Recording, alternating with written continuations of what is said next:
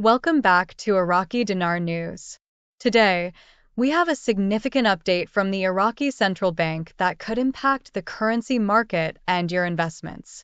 On Wednesday, August 21, 2024, the Central Bank of Iraq, CBI, held a major foreign exchange auction, selling a staggering $283.6 million in US dollars. According to the latest official statement, the CBI's auction was notably large, marking a substantial figure in the ongoing forex activities. The bank's transactions were conducted at different exchange rates depending on the type of transaction. For documentary credits, international settlements involving electronic cards, and foreign transfers, the rate was set at 1,310 Iraqi dinars per dollar. However, for cash transactions, the rate was slightly lower at 1,305 dinars per dollar. So, what does this mean for the Iraqi economy and the value of the dinar? Let's break it down. The majority of the dollars sold, $268.1 million to be precise, were used to bolster balances abroad.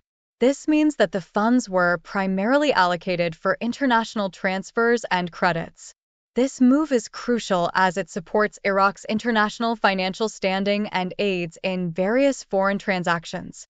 On the other hand, cash transactions totaled $15.55 million. This smaller amount was directed towards immediate cash needs, with only two banks purchasing these cash dollars. The fact that 17 banks fulfilled requests to boost balances abroad shows a strong demand for foreign exchange in the international arena. In terms of market participation, 13 exchange and brokerage companies were involved in this auction. This level of participation highlights the active engagement of financial institutions in managing and securing foreign currency, which is vital for both local and international economic activities. For those closely following the Iraqi dinar and its market movements, these details are crucial. The large volume of dollars sold and the different exchange rates provided reflect the central bank's ongoing efforts to stabilize and manage the currency's value in the global market. The substantial increase in the amount allocated to international transfers compared to cash sales suggests a strategic focus by the CBI on strengthening Iraq's international financial positions. It indicates a preference for long-term financial stability over immediate cash availability, which could have various implications for the dinar's value and the broader economic environment. As always, stay tuned to Iraqi Dinar News for the latest updates and insights into the currency market.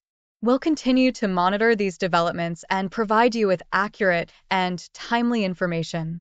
If you have any questions or comments about today's auction or other currency news, feel free to share them below.